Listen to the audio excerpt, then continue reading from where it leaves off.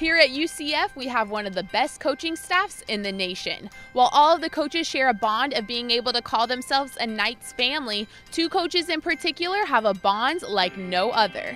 She played holding mid for our team for the Carolina Courage. Uh, she was the captain. She was an incredible leader. So, who is this incredible athlete Coach Calabrese is talking about? It's the one and only UCF women's head soccer coach Tiffany Roberts Sahaydak, who he coached in the 2002 season for the WUSA team, the Carolina Courage. He was always a very positive coach back then and very tactical and worked with our defense. So, um, you know, I did learn a lot from him as well back then. Coach Roberts Sahaydak helped lead the Carolina Courage to win the Founders Cup. She was an inspiration to the players around her um, she was someone as, as a coach who it's the first person you put on the board, and you know you essentially build a team around her.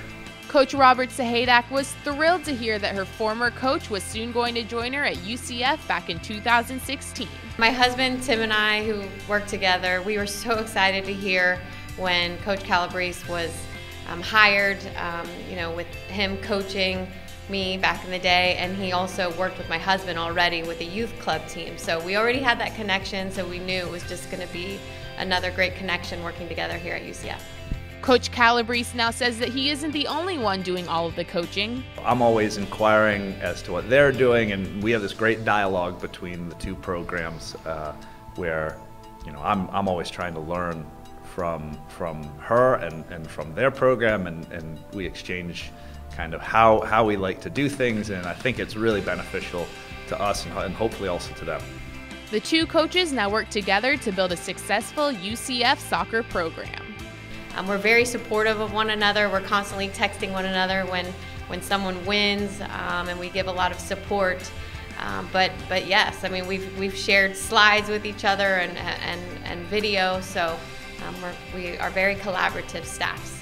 Back in the day, Coach Calabrese had no doubt that Coach Roberts Sahaydak had coaching in her blood. Oh, absolutely. She she had all of the characteristics to lead, and uh, you know clearly she's been able to inspire the UCF group. Reporting for Campus Connect, I'm Brianna Sorensen.